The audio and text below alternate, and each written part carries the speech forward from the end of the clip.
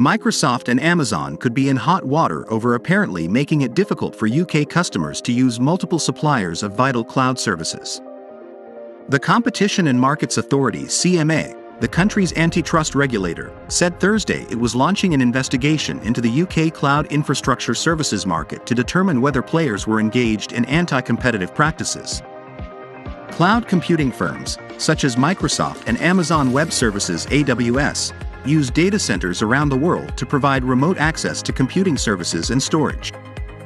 This cloud infrastructure forms the foundation for how software applications, such as Gmail and Dropbox, are developed and run.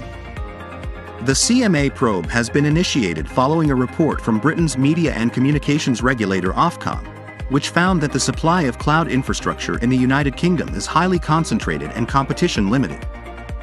We welcome Ofcom's referral of public cloud infrastructure services to us for in depth scrutiny, CMA CEO Sarah Cardell said in a statement.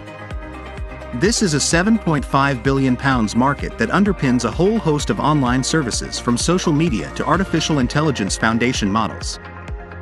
Many businesses now completely rely on cloud services, making effective in this market essential.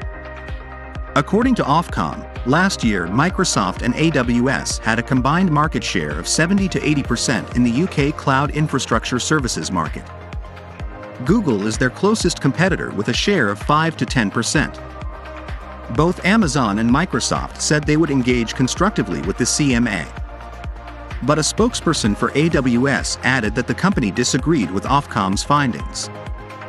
We believe they are based on a fundamental misconception of how the IT sector functions and the services and discounts on offer, the spokesperson said, noting that the cloud has made switching between providers easier than ever.